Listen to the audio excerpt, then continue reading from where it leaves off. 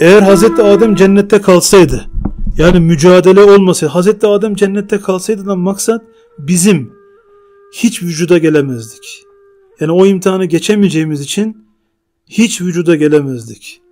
Kalsaydı o dahi ya ama peygamber efendilerimiz dahi burada terakki ediyorlar. Evet burada zaten onların çekmediği bir çile kalmamıştır yani.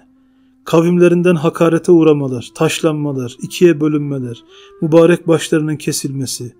Yani sadece Efendimiz Aleyhisselatü Vesselam'a diyor Mekke'de atılan tükürükleri bir araya getirsen bir kova tükürük yapardı. Deve işkembesinin insafsızca diyor değil mi? Namaz kılarken başına konulması. Daha sayabildiğin kadar say. Onların da terakki yeri burası. Acizlik ve fakirlikte kudret ilahiye ulaşma yeri burası onların da. Burası Darul Elem. Ama mümin cennete nispeten cehennemde burada.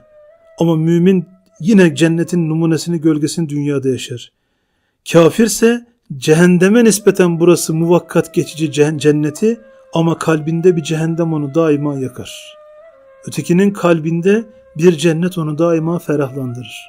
Evet, eğer kalsaydı melek gibi makamı sabit kalırdı, mücadele olmazdı, istatlar inkişaf etmezdi.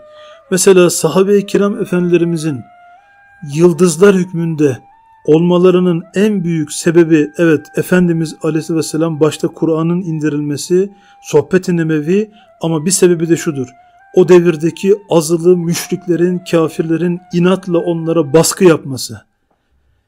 Yani kışın toprağa böyle karla baskı yapılıp baharda o toprağın böyle içindeki tohumun böyle patlaması gibi. Yani o inatlı müşrik ve kafirlerin hücumlarıyla her şeyi terk edip dünyaya kalpleri soğuyup Allah'ı arayıp ahiret kapısını çalıp zaten orada güneş var aleyhissalatü vesselam oradan Allah'a giden bir yol bulmuşlar. Evet.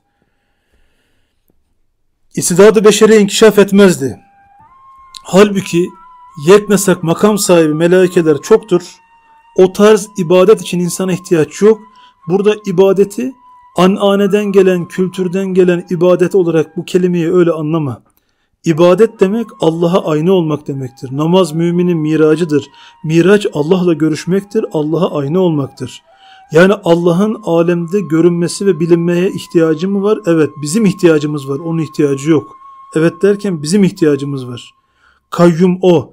Onunla bağlantımız koparsa mahvoluruz. Yani melaikeler bir tarafı karşılayabiliyorlar. O, o tarz ibadete ihtiyaç yok. Alemde eksik kalırdı. İnsan olmasaydı alem olmazdı. Çünkü ayna ilahiye en geniş manada maslar insan. O zaman bu kainatın çekirdeği de meyvesi de insan ama sırf ağaçta çekirdek meyve yok. Kök var, dal var, ağaç var, şey yani kök var, e, gövde var, dal var, yaprak var, çiçek var, işte melaikeleri, hayvanlar, nebatat, işte diğer mahluklar, ruhaniler bunlar hepsi bir bütünü oluşturuyor ama insan bunu cem ediyor. Alem büyük bir insan. İnsan kendinin ne olduğunu bilmiyor. Diyor ya bir yerde Ey kendini insan zanneden insan kendini oku, anla, sahibine aynı ol yoksa hayvandan aşağı düşmek ihtimali var.''